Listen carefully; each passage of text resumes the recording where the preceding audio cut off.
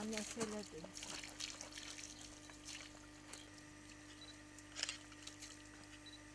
Ben yavrumu gelip teselli olayım yine. Daha çok aldı, daha çok aldı.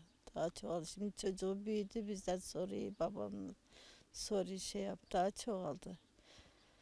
Gitgide daha çoğalıyor acı. Ama onları şimdiyeten idam çoktan yapılması lazım. Şimdi etleri çürümüş olması lazımdı o sebep olanlar yavruma. Ben bunca söylüyorum. Onlar çoktan idam gecikti gecikti. Çok gecikti idamları. Hemen idam etmeleri lazım onları. Oğlum İpek'ti. İpek hiç kusursuz. Böyle öyle bir çocuktu ki hiç kusuru yoktu. Hiç hiçbir kusuru yoktu ki. Babasından beş ay sonra iki ay derken o zaten iki buçuk ay, üç aylıktı anne karnında. İşte şimdi büyüdü dört, üç buçuk yaşında. Daha konuşuyor.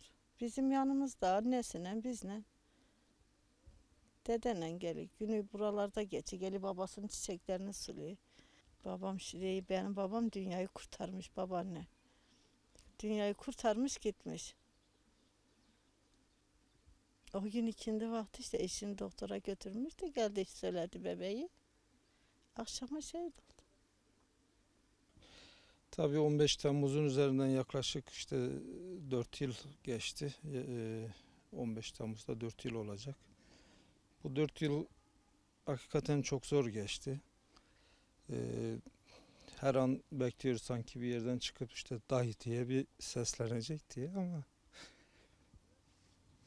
maalesef olmadı. Ama sevindiğimiz tek nokta şehit oldu. O çok istiyordu, çok seviyordu bu mesleğini severek yaptı. Zaten ailesinden, bizlerden e, gizlice okulda başarılı olduğu için direkt kendisi özel hareketi seçmişti. Çok seviyordu. Severek yaptığı bir meslekti. Malumunuz üzere o hendek olaylarında özellikle Şemdinli, Nusaybin, Cizre, son olarak Diyarbakır'da görev yaptı. Çok zor günler geçirdi. Hele ki Nusaybin onları çok perişan etmişti. İşte ta- son tayini Ankara'ya çıktı. Biz de sevinmiştik aslında. Dedik artık bu tür şeylerden biraz uzak kaldı çocuk. Yurt dışına gidecekti, bir görev vereceklerdi. Devlet de farkındaydı bunların morallerinin bozulduğunu.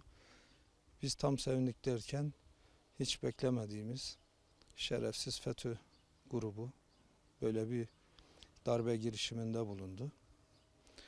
15 Temmuz gecesi Özel Hareket Daire Başkanlığı'na atılan ikinci bombada şehit oldu. Tabii biz de o geceyi takip ediyorduk. Ben de 15 dakika önce telefonla görüştüm. Dedi dayı biz operasyona çıkıyoruz. Seni arayacağım dedi. Ondan sonra aradık aradık ulaşamadık bir türlü. Sabah haber geldi. Mekanları cennet olsun hepsinin. Ülke için çok büyük bir fedakarlık yaptılar. Ee, kendisi gibi birçok aynı durumda olan kişiler var. Hepsinin de mekanı cennet olsun.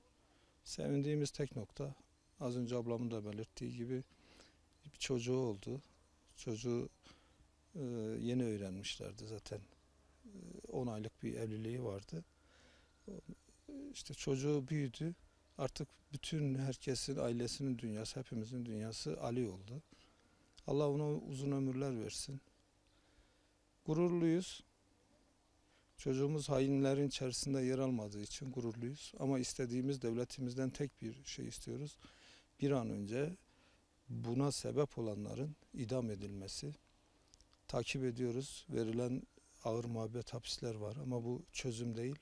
Biz bir an önce e, idam kararının çıkarılıp bunların idam edilmesini bekliyoruz.